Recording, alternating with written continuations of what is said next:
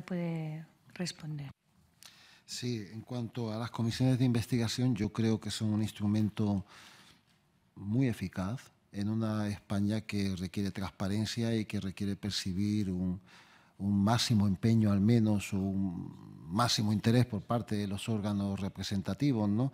Por tanto, la verdad es que no puedo compartir el criterio en el Congreso de los Diputados de que no se investigue este tema. No sé por qué motivo los parlamentarios han llegado a la conclusión de que no tienen que hacerlo, pero hay que destacar algo. A veces se critica a las comisiones de investigación y, en los propios temas de oposición de los letrados de las Cortes hay críticas a lo que es la comisión de investigación frente a lo que sucede en Estados Unidos, porque se entiende que son de carácter fundamentalmente político y que caen dentro de una dinámica que no tiene nada que ver con el descubrimiento de la verdad yo no estoy de acuerdo. Yo creo que la verdad tiene muchos matices, es caleidoscópica, más en un país donde no se suele buscar.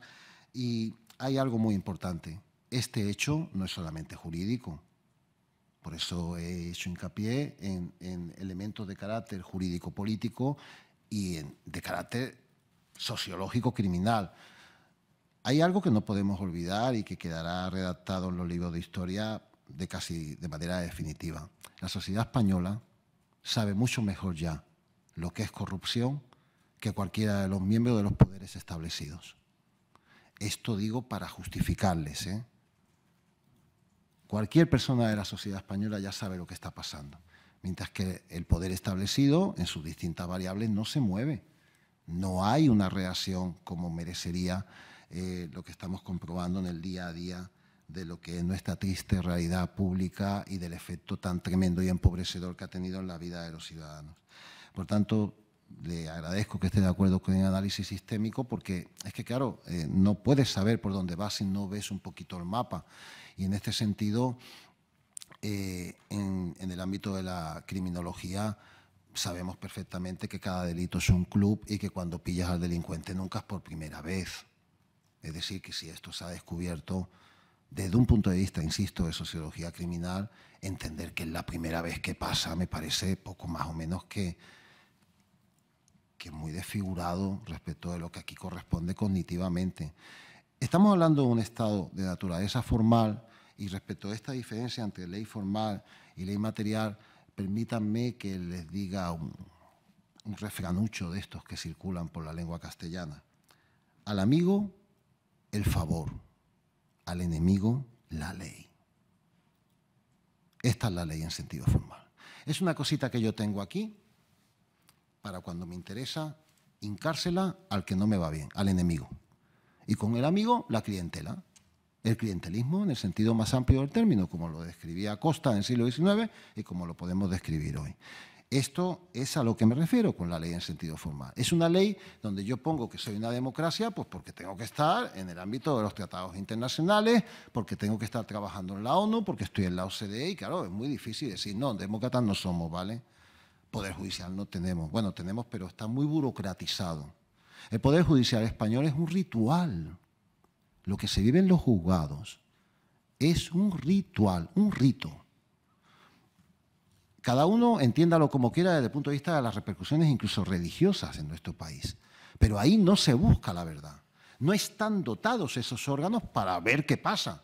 Y cualquiera que se haya dedicado a la abogacía sabe que llega un juicio y está todo absolutamente encapsulado, absolutamente integrado dentro de un esquema rígido, donde lo de saber qué ha sucedido o no, si se te ha ido el turno, si no lo has preguntado, eso al juez no le interesa. Es un sistema ritual que reproduce una forma vacía de contenido. No, reproduce lo que las instituciones tienen que buscar. Un juez se pone a trabajar y lo que tiene que investigar es qué ha pasado, quién lo ha hecho, cómo lo ha hecho, en los distintos ámbitos que le toquen. No. Se trata de cumplir un ritual estricto para que el Consejo no te reclame diligencias informativas, para que puedas archivar los expedientes, para que aquello pueda funcionar porque tienes 10.000 diligencias al año, para que no te pille el toro, para que el fiscal no la coja contigo. En el caso de un juez de instrucción, es tan sencillo como apartarse mínimamente del criterio del Ministerio Fiscal. Otro elemento muy importante para entender esto de la ley en sentido formal. Esto sería un tema que iría al Tribunal Supremo, porque hay aforados. No, eso no tiene sentido. El Tribunal Supremo no se dedica a instruir. El Tribunal Supremo tendría que nombrar aquí a un juez instructor y ya empezamos a pervertir las instituciones. Esto es una consecuencia de los aforamientos. Esto debería de ir a un juez de a pie, a un juez de aquí, de Barcelona. Ponte a trabajar, ponte a investigar, ponte a hacer cositas y lo que diga el fiscal o deje de decir el fiscal, pues es una parte más del proceso.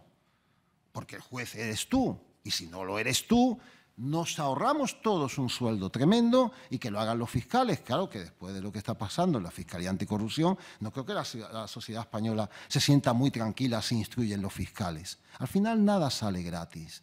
Al final las cosas se van viendo.